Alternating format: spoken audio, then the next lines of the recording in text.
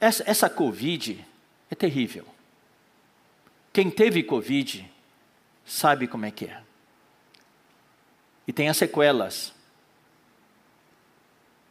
Poucas são as pessoas que tiveram Covid que não estão com sequelas. Existem sequelas físicas,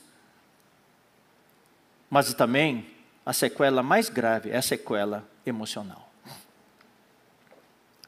Eu vou dizer para vocês, irmãos, eu conheci irmãos, conheço irmãos, espiritualmente, mas fortes, fortes, fortes, exemplares. Irmãos, difícil ter alguém espiritualmente mais forte que alguns desses irmãos, mas pegaram Covid.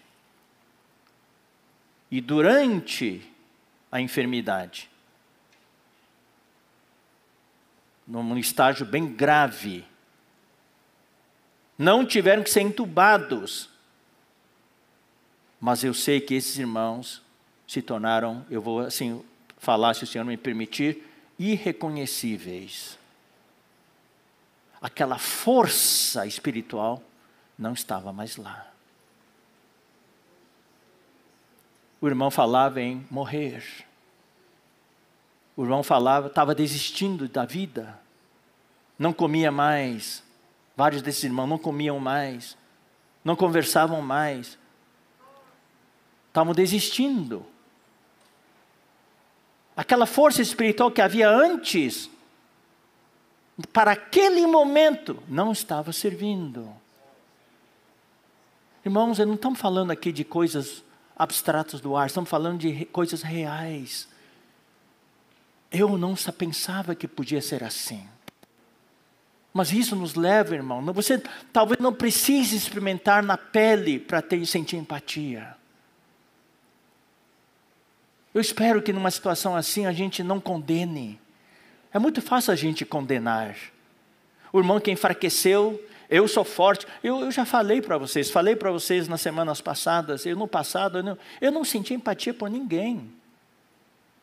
Eu condenava todo mundo que era fraco.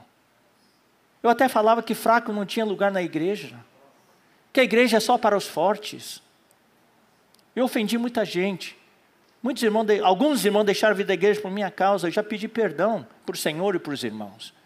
Graças a Deus, muitos voltaram. Não é assim. Por isso que eu falo, o que nós estamos compartilhando agora são dicas de sobrevivência. Aquele que perseverar até o fim, esse será salvo. E perseverar, irmãos, eu entendo cada vez mais, não é só perseverar espiritualmente. A perseverança também está na emoção e na mente a perseverar, porque tem muito irmão que espiritualmente está muito bem, ele entende a Bíblia, ele tem uma visão fantástica, mas emocionalmente ele está simplesmente sucumbido. Eu não tenho mais força emocional. Então vem a frase: Eu não aguento mais. É como alguém orou hoje à noite, chegou ao limite, chegou ao ponto de ruptura. E o inimigo sabe o nosso ponto de ruptura. Ele vai forçar, forçar, forçar. E lá em Daniel, capítulo 9, tem um versículo que fala: magoará os santos do Altíssimo.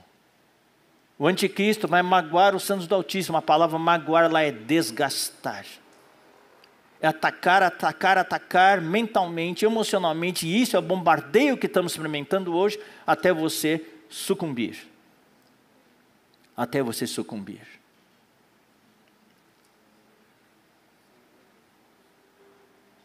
Quando eu era jovem, eu vi meu pai, o papai, o irmão Samuel Mar, que dorme no Senhor hoje.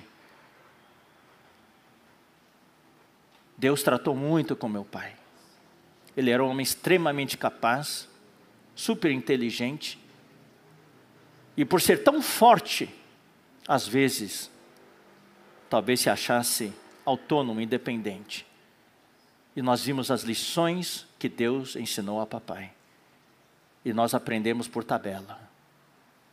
E temos hoje Miguel, eu, Jonathan, Salomão, nós temos esse temor nós não queremos experimentar a mesma disciplina. Por ser muito capaz, às vezes vinha o orgulho.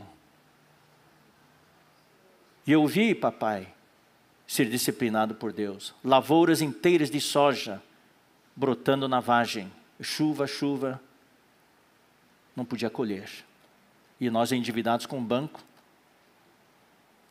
Nós vimos também granizo caindo no trigal e derrubando toda a nossa plantação de trigo, virou uma paçoca, uma pasta, enquanto o trigo dos vizinhos estava tudo de pé. Só caiu granizo na nossa fazenda. E nós endividados com o banco, não podíamos pagar de novo. Também aconteceu de não chover, de não chover, por meses e a vagem não se formar, perdemos a plantação também. E vimos também caso em que o nosso funcionário, capataz, em vez de pulverizar inseticida para matar a lagarta, se enganou e pulverizou herbicida. E acabou com a soja. E vi papai, muitas vezes, ajoelhado no meio da lavoura, dizendo para Deus: Eu não aguento mais. Chorando eu não aguento mais. Da minha mãe, foi assim que minha mãe acabou com a saúde dela. A gente não tinha comida. Eu vou falar, eu, vou abrir o coração para vocês. A mamãe teve daí que abrir uma boutique para São Paulo comprar roupas. Na rua 25 de março, é isso? E pegar aqueles ônibus, 18 horas de viagem, ida, sem comer, sem nada, e volta para poder vender roupa, para poder pôr comida na mesa. E nós somos criados nesse ambiente. Cabelo? Cortar no cabeleireiro? Não, é minha mãe que cortava. E eu morria de raiva. Porque ela cortava meu cabelo e cortava quase rente. Eu queria ter um cabelo um pouco mais comprido, não podia. Roupa é tudo feito por ela. Comprava pano nas casas pernambucanas para fazer roupa. E fazia roupa igual, com o mesmo pano para todo, para mim, para o Miguel, Jonas e Salomão. E nós éramos alvo de bullying dos colegas. Chineses fabricados em série. É, vocês riem, né? Vocês dão risada. Mas nós, alvos de bullying, não era nada divertido. Foi nesse ambiente de oração e de sofrimento que a gente foi criado. No meio de resiliência. Mas quantas vezes nós tivemos que nos ajoelhar no meio da sala da casa, papai reunindo toda a família para nós orarmos e papai dizendo, praticamente dizendo assim: Deus, não aguentamos mais, não aguento mais. Eu conheço irmãos, irmãos com certa intimidade, que perderam mãe, perderam dois irmãos e perderam tios, perderam sobrinhos. Tudo num período de duas, três semanas. Perderam cinco, seis entes queridos. Eu não aguento mais. Como é que gente, como é que um ser humano consegue aguentar? Eu sei de irmãos que perderam os negócios. Um negócio construído ao longo de 10 anos, 15 anos. Por causa dessa pandemia, perderam tudo. Deus, eu não aguento mais. É nesse momento que nós precisamos da rede de cuidados. Rede de cuidados não é só para pessoas de fora. Não é só para pessoas novas. A rede de cuidados é completa é inclusiva. Nossa, eu fico feliz de saber que tem algumas redes de cuidados estão ligando para irmãos que pararam de reunir e estão restaurando dezenas de irmãos que pararam de reunir. A rede de cuidados também é para os irmãos. Nós sabemos que tem igrejas onde, entre aspas, a assistência social está sendo muito forte. Tem igreja onde os irmãos não têm muitas necessidades, por, pela, por, pela proteção de Deus, bênção de Deus, os irmãos estão bem, mas tem algumas igrejas em que tem muitos irmãos necessitados, sem comida e tudo, daí os irmãos estão cuidando deles, através de assistência social, através, uh, ofertando comida, roupas e assim por diante, cestas básicas, e, e às vezes tem, tem que fazer uma vaquinha para poder internar o irmão, comprar um remédio para o irmão.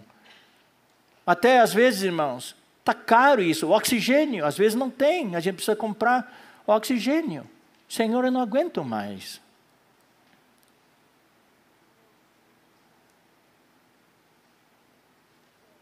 Não é vergonha dizer para Deus: Eu não aguento mais. Esse é o problema. Sabe qual é uma pressão muito grande que os irmãos muitas vezes têm? É a pressão de ter de manter uma fachada, uma aparência que eu estou bem, quando por dentro já estou sucumbindo. Mas eu não quero que os irmãos saibam que não estou bem. O que, que os irmãos vão dizer se eu não estou bem? Daí eu sinto essa pressão de manter uma fachada. Eu não me abro com ninguém. Às vezes tem maridos que nem se abrem com as esposas, nem a esposa abre com o marido, e chega um momento, sucumbe. Sucumbe. Não é vergonha.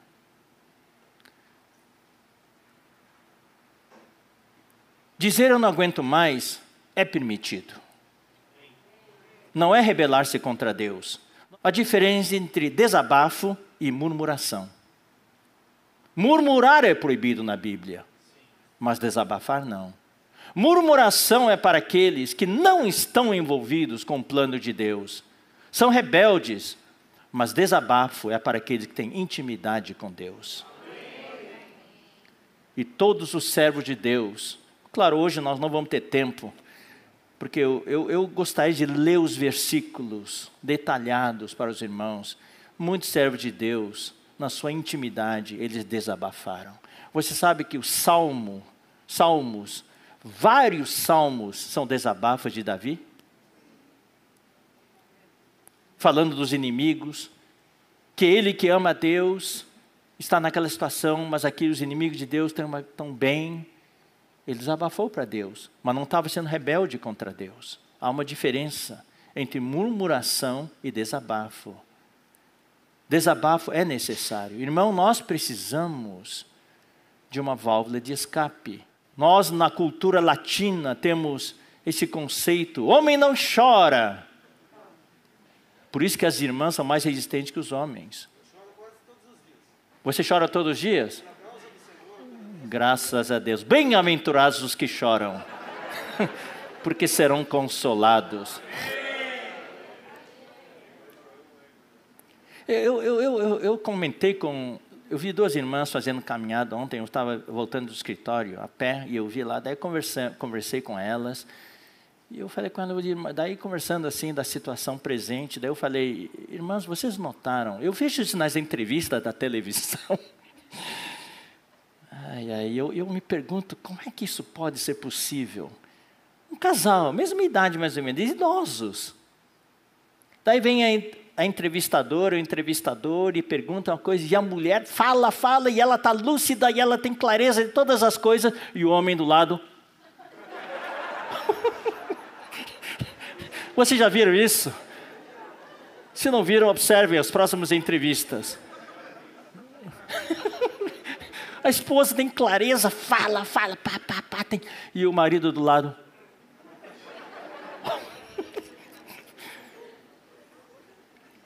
Por quê?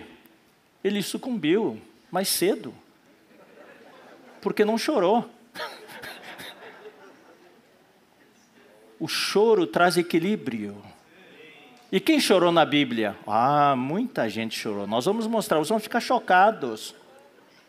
Paulo chorava muito. E Timóteo aprendeu a chorar com Paulo. Paulo falou: Me lembro das suas lágrimas.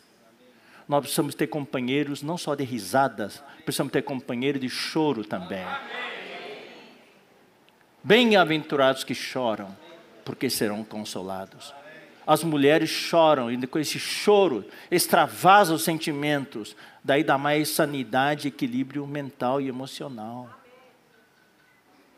Então nós temos que aprender a chorar. Eu falei na semana passada, eu vi o irmão Dong chorar, muitas vezes. Ele não chorava publicamente ali, às vezes chorava. Daí ele tirava o lenço e enxugava os olhos mas muitas vezes no quarto da, da hospedagem, da casa onde estavam hospedados, ele chorava e pedia para orar com ele. Nós vamos ser tripartido, irmãos. Precisamos também, irmãos. Eu, eu fico até um pouco preocupado, né? Talvez não precisasse me preocupar tanto de ver os comportores dinâmicos naquele ritmo direto. Então, quero falar uma palavra para os comportores dinâmicos. Você também precisa descansar de vez em quando. Porque senão vai, vai acontecer o que em inglês chama burnout.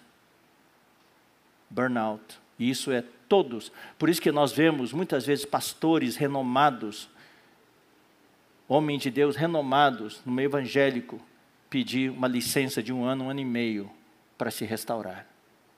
Porque sofreram burnout, que chama esgotamento nervoso, esgotamento emocional. É muita carga. E eu tenho que me cuidar. Eu sei que sou Pedro e eu, Miguel, André, nós somos sustentados pela oração de vocês. Mas a carga é muito forte nós também temos de nos cuidar para não ter burnout, porque nós somos humanos, afinal de contas. Nós não somos anjos, nem seres divinos. Isso só vai acontecer quando houver a transfiguração e nós estivermos totalmente saturados pela vida divina. Mas enquanto estivermos nessa terra, nós somos alvo dos ataques do inimigo. Nós somos alvo dos ataques da nossa emoção